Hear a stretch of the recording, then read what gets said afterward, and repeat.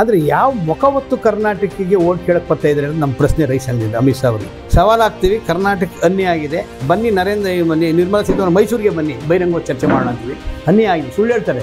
ಒಂದು ಕರ್ನಾಟಕದ ಬರದ ಬಗ್ಗೆ ಅನುದಾನ ಬಿಡುಗಡೆ ಮಾಡೋಕ್ಕೆ ನಿಯಮಾನುಸಾರ ಕೇಂದ್ರ ಸರ್ಕಾರದ ಜವಾಬ್ದಾರಿದು ಒಂದು ಸಭೆ ಸೇರೋಕ್ಕೆ ಆಗಲಿ ಅಂದರೆ ಕರ್ನಾಟಕದ ಬಗ್ಗೆ ಎಷ್ಟು ನಿಮಗೆ ದ್ವೇಷ ಇಟ್ಕೊಂಡಿದ್ದೀರಿ? ಇವರು ಸ್ವಂತ ಪ್ರಧಾನ ಸ್ವಂತ ಪಕ್ಷದ ಪ್ರಧಾನಮಂತ್ರಿ ಇಪ್ಪತ್ತೈದು ಜನ ಇದ್ದು ಕೂಡ ಹೋಗಲಿಲ್ಲ ಅಂದರೆ ಅವರ ನರಸತ್ತವರು ಅವರೆಲ್ಲ ಅನಾಲಾಯಕರು ಅಮಿತ್ ಶಾ ಅವರು ರಾಜ್ಯಕ್ಕೆ ಚುನಾವಣಾ ಪ್ರಚಾರಕ್ಕೆ ನಾಳೆ ಚನ್ನಪಟ್ಟಣಕ್ಕೆ ಬರ್ತಾ ಇದ್ದಾರೆ. ಚುನಾವಣಾ ಪ್ರಚಾರಕ್ಕೆ ಯಾವುದೇ ಪಕ್ಷದವ್ರು ಬಂದರೂ ನಮ್ಮದೇನು ಅಭ್ಯಂತರ ಇಲ್ಲ. ಪ್ರಚಾರ ಮಾಡ್ಕೊಂಡು ಹೋಗ್ಬೋದು. ಆದರೆ ಯಾವ ಮುಖವತ್ತು ಕರ್ನಾಟಕಕ್ಕೆ ಓಟ್ ಕೇಳಕ್ಕೆ ಬರ್ತಾ ಇದ್ದಾರೆ ನಮ್ಮ ಪ್ರಶ್ನೆ ರೈಸ್ ಅಂಗದಿಂದ ಅಮಿತ್ ಶಾ ಅವರಿಗೆ. ರಾಜ್ಯ ಹಿಂದೆಂದು ಕಂಡರಿಯದಂಥ ತೀವ್ರ ಬರಗಾಲವನ್ನು ಎದುರಿಸಿದೆ ನೂರಿಪ್ಪತ್ತೆರಡು ವರ್ಷದ ನಂತರ ಭೀಕರ ಬರಬಾಲಕ್ಕೆ ರಾಜ್ಯ ತುತ್ತಾಗಿದೆ. ಇನ್ನೂರಿಪ್ಪತ್ತ್ಮೂರು ತಾಲೂಕಲ್ಲಿ ಬರ ಉದ್ಭವವಾಗಿದೆ ಸಿವಿಯರ್ ಆಗಿ ನೂರ ತೊಂಬತ್ತ್ಮೂರು ಕುಡಿಯೋಕ್ಕೂ ನೀರಿಲ್ಲ, ದನಗಳಿಗೂ ಮೇವಿಲ್ಲ, ಉದ್ಯೋಗ ಇಲ್ಲ, ಆ ಥರದಂಥ ಒಂದು ಕೆಟ್ಟ ಬರಗಾಲ ಸೃಷ್ಟಿಯಾಗಿದೆ. ಅಕ್ಟೋಬರ್ ತಿಂಗಳಲ್ಲೇ ಕೇಂದ್ರದ ಚುನಾವಣೆ ತಂಡ, ಚುನಾ ಸಾರಿ ಕೇಂದ್ರದ ಒಂದು ತಂಡ, ಬರ ಪರಿಹಾರ ಅಧ್ಯಯನ ತಂಡ ಬಂದು ಅಧ್ಯಯನ ಮಾಡಿ ವರದಿಯನ್ನು ಕೊಟ್ಟಿದೆ. ಹತ್ತು ದಿನದೊಳಗೆ ವರದಿ ಕೊಡಬೇಕಾಯ್ತು, ಹತ್ತು ದಿನದೊಳಗೆ ವರದಿ ಕೊಟ್ಟಿದೆ ಅದು. ಹತ್ತು ದಿನಗಳು ವರದಿಯೇ ಕೊಟ್ಟ ಮೇಲೆ ಒಂದು ತಿಂಗಳೊಳಗಡೆ ನಿಯಮದ ಪ್ರಕಾರ ಎರಡು ಸಾವಿರದ ಐದರಲ್ಲಿ ಬರ ನಿರ್ವಹಣೆ ಒಂದು ಕೈಪಿಡಿ ಇದೆ ಕೇಂದ್ರ ಸರ್ಕಾರದ್ದು, ಮ್ಯಾನ್ಯುವಲ್ ಡ್ರಾಟನ್ನು ಯಾವ ಥರ ನೀವು ಅಧ್ಯಯನ ಮಾಡಬೇಕು, ನಿರ್ವಹಣೆ ಮಾಡಬೇಕು ಅನ್ನೋದ್ರ ಬಗ್ಗೆ. ಒಂದು ತಿಂಗಳಿಗೆ ಸಭೆ ಸೇರಿ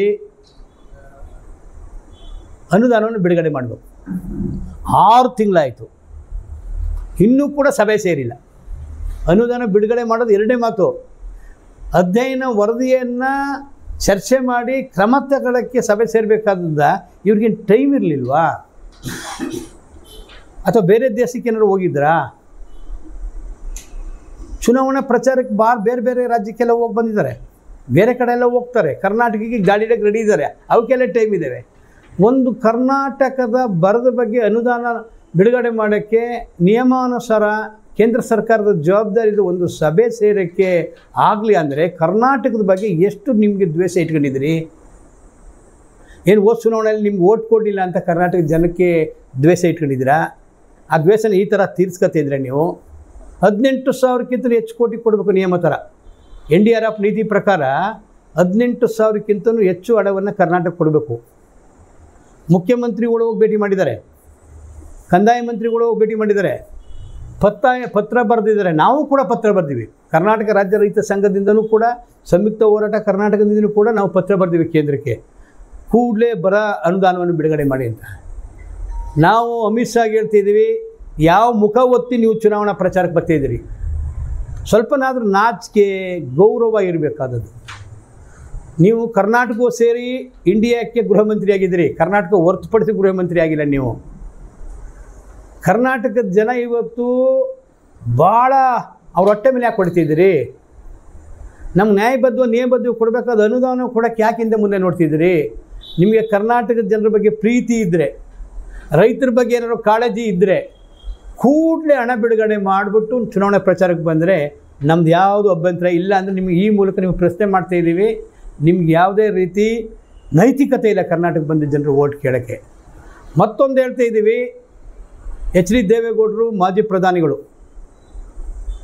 ಕರ್ನಾಟಕದವರು ವಿಶೇಷವಾಗಿ ಮಣ್ಣಿನ ಮಗ ಅಂತ ಹೇಳ್ಕೊತಾರೆ ಅವರು ಈಗ ಇವತ್ತು ಕೂಡ್ತವ್ರೆ, ಎನ್ ಡಿ ಎ ಒಕ್ಕೂಟದ ಸೇರ್ಕೊಂಡಿದ್ದಾರೆ, ಬಿ ಜೆ ಪಿ ಮತ್ತು ಅವರು ಇಬ್ಬರು ಕೂಡವಳಿ ಮಾಡ್ಕೊಂಡಿದ್ದಾರೆ. ಯಾಕೆ ಕೇಳ್ತಾ ಇಲ್ಲ ಅವರು? ಕರ್ನಾಟಕಕ್ಕೆ ಅನುದಾನ ಕೊಡಿ ಅಂತ ಯಾಕೆ ನರೇಂದ್ರ ಮೋದಿ ಮೇಲೆ ಒತ್ತಾಯ ಮಾಡೋಕ್ಕಾಗಿಲ್ಲ? ಸೀಟ್ ಹಂಚಿಕೆಗೆ ಹೋಗ್ತಾರೆ. ಎನ್ ಡಿ ಎ ಒಕ್ಕೂಟ ಸೇರ್ಕೊಳ್ಳೋಕ್ಕೆ ಆ ಈ ಇಳಿ ವಯಸ್ಸಲ್ಲೂ ಡೆಲ್ಲಿಗೆ ಹೋಗ್ತಾರೆ. ಯಾಕೆ ಮ, ನರೇಂದ್ರ ಮೋದಿ ಅವರಿಗೆ ಅನುದಾನ ಬಿಡುಗಡೆ ಅಂತ ಕೇಳಲಿಲ್ಲ ಅವರು? ಅಮಿತ್ ಶಾಗೆ ಯಾಕೆ ಕೇಳ್ತಾ ಇಲ್ಲ ಅವರು? ಚುನಾವಣೆ ಪ್ರಚಾರ ಕಳ್ಸ್ಕತ್ತಿರಲ್ಲ ಮಹಾಸ್ವಾಮಿಗಳೇ, ಮಣ್ಣಿನ ಮಕ್ಕಳೇ, ನೀವು ಯಾಕೆ ಕೇಳ್ತಾ ಇಲ್ಲ? ನೀವು ಕೂಡ ಒತ್ತಾಯ ಮಾಡಬೇಕು ಅಂತ ವಿನಂತಿ ಮಾಡ್ತಾಯಿದ್ದೀವಿ ಇವತ್ತು ನಾವು ನೋಡಿದ್ದೀವಿ ಇವತ್ತು ಎನ್ ಡಿ ಎ ನೇತೃತ್ವದ ಒಕ್ಕೂಟ ಹತ್ತು ವರ್ಷದ ಆಡಳಿತದಲ್ಲಿ ಭಾಳಷ್ಟು ರೈತ ವಿರೋಧಿಯಾಗಿ ನಡ್ಕೊಂಡಿದ್ದೀರಿ. ನೀವು ಕರ್ನಾಟಕಕ್ಕೆ ಹಣ ಬಿಡುಗಡೆ ಮಾಡದೆ ನೀವು ಬರೋದಾದರೆ ನಿಮ್ಮನ್ನು ಕಂಡಲ್ಲಿ ಪ್ರಶ್ನೆ ಮಾಡಬೇಕಾಗತ್ತೆ. ನಿಮ್ಮ ಚುನಾವಣಾ ಪ್ರಧಾನ ನರೇಂದ್ರ ಮೋದಿಯವರು ಬರ್ಬೋದು, ಅಮಿತ್ ಶಾ ಬರ್ಬೋದು ಮತ್ತೊಬ್ಬರು ನಡ್ಡಾ ಬರ್ಬೋದು, ಅದು ದೇವೇಗೌಡರೇ ಬರ್ಬೋದು. ಈ ಪ್ರಶ್ನೆಗಳನ್ನ ರೈತರಿಂದ ಎದುರಿಸಬೇಕಾಗತ್ತೆ. ಈಗಲೂ ಅವಕಾಶ ಇದೆ ನೀವು ಕರ್ನಾಟಕಕ್ಕೆ ಹಣ ಬಿಡುಗಡೆ ಮಾಡಿ ಚುನಾವಣಾ ಪ್ರಚಾರಕ್ಕೆ ಬನ್ನಿ ಅಂತ ಹೇಳ್ತಿದ್ದೀವಿ.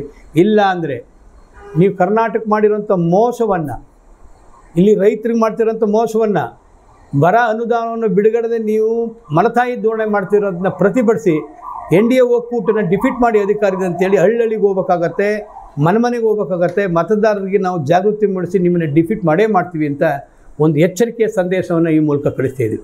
ಅಲ್ಲ ಈಗ ನಿಮ್ಮ ಪ್ರತಿಭಟನೆ ಹೋರಾಟದ ರೂಪದಲ್ಲಿ ಇರುತ್ತಾ ಅಥವಾ ಹೇಗೆ ಅಂತ? ಪ್ರಶ್ನೆಗಳ ಮುಖಾಂತರ ಇರ್ತದೆ. ಪ್ರಶ್ನೆಗಳ ಮುಖಾಂತರ ಇರ್ತದೆ. ಪ್ರಶ್ನೆಗಳ ಮುಖಾಂತರ ಮಾಡ್ತೀವಿ. ಅವ್ರು ಎಲ್ಲೆಲ್ಲಿ ನರೇಂದ್ರ ಮೋದಿ ಬರಲಿ ಅಲ್ಲಿ ಈ ಪ್ರಶ್ನೆಗಳನ್ನು ಮುಂದಿಡ್ತೀವಿ. ಎಲ್ಲೆಲ್ಲಿ ಯಾವ ಕ್ಷೇತ್ರ ಬರ್ತಾರೆ ಅಲ್ಲಿ ಪ್ರಶ್ನೆಗಳು ಮುಂದಿಡ್ತಿದ್ದೀವಿ. ಅವರು ರೈತರ ಸಮಸ್ಯೆಗೆ ಅಂದರೆ ಈ ಕರ್ನಾಟಕ ಬೇಕಾದಂಥ ಬರ ಬರ ಪರಿಹಾರ ಇದನ್ನು ನೀಡದೆ ಹೋದರೆ ಇದನ್ನು ಚುನಾವಣೆ ಇಶ್ಯೂ ಮಾಡ್ಕೊಳ್ತೀವಿ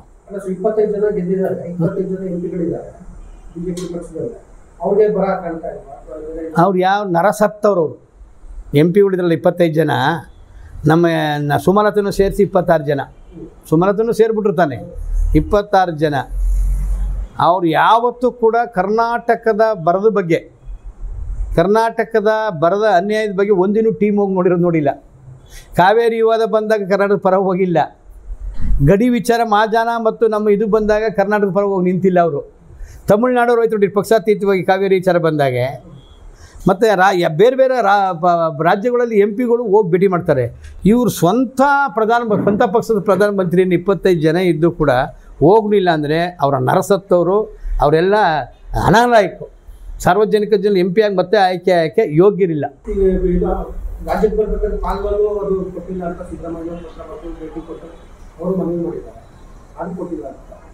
ಖಂಡಿತ ನಾವು ಕೂಡ ಅಧ್ಯಯನ ಮಾಡಿದೆ.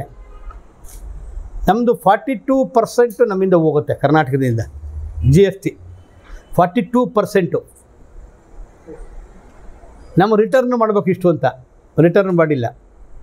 ನಾವು ಈಗಲೂ ನಿರ್ಮಲಾ ಸೀತಾರಾಮನ್ ಮೈಸೂರಲ್ಲಿ ಬಂದು ಹೇಳ್ಬಿಟ್ಟೋಗಿದಾರಲ್ಲ ಕಾಂಗ್ರೆಸ್ನವ್ರು ಸವಾಲು ಹಾಕಿರೋದು ಬೇರೆ. ನಾನು ರೈತ ಸಂಘದ ರೈತ ಸಮುದಾಯದ ಒಂದು ಸಂಘಟನೆ ಪ್ರತಿನಿಧಿಯಾಗಿ ಸವಾಲು ಹಾಕ್ತೀವಿ ಕರ್ನಾಟಕ ಅನ್ಯಾಯ ಆಗಿದೆ. ಬನ್ನಿ ನರೇಂದ್ರ ಬನ್ನಿ, ನಿರ್ಮಲಾ ಸೀತಾರಾಮನ್ ಮೈಸೂರಿಗೆ ಬನ್ನಿ. ಬಹಿರಂಗ ಚರ್ಚೆ ಮಾಡೋಣ ಅಂತೀವಿ. ಅನ್ಯಾಯ ಆಗಿದೆ. ಸುಳ್ಳು ಹೇಳ್ತಾರೆ. ನಿರ್ಮಲಾ ಸೀತಾರಾಮನ್ ಅವರು ಸುಳ್ಳು ಹೇಳ್ತಾರೆ. ಕೊಟ್ಟಿ ಇಲ್ಲ, ಕೊಟ್ಟಿಲ್ಲ ಕೊಟ್ಟಿಲ್ಲ ಕೊಟ್ಟಿಲ್ಲ, ಅವರು ಕೊಟ್ಟಿಲ್ಲ.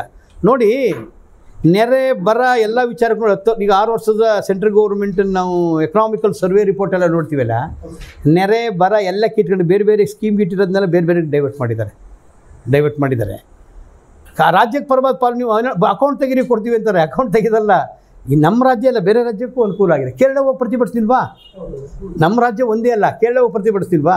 ರಾಜ್ಯಕ್ಕೆ ಬರಬೇಕಾದ ಒಕ್ಕೂಟ ವ್ಯವಸ್ಥೆಯಲ್ಲಿ ಇದು ಕರ್ ಭಾರತ ಸರ್ಕಾರ ಅಂತಂದರೆ ಒಕ್ಕೂಟ ಸರ್ಕಾರ ಇದು.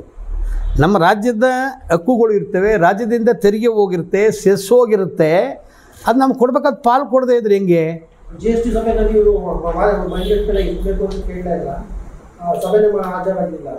ಕೇಳಬೇಕಾದ ಅವಶ್ಯಕತೆ ಇಲ್ಲ.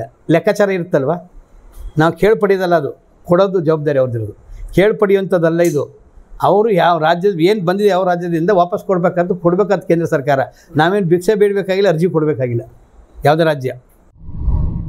ಮತ್ತಷ್ಟು ವಿಶೇಷ ವಿಡಿಯೋಗಳನ್ನು ನೋಡಲು ಮತ್ತು ಹೊಸ ವಿಡಿಯೋಗಳ ಬಗ್ಗೆ ತಿಳಿಯಲು Ee Dina dot com YouTube channel subscribe ಮಾಡಿ ಮತ್ತು ಬೆಲ್ ಐಕಾನ್ ಕ್ಲಿಕ್ ಮಾಡಿ.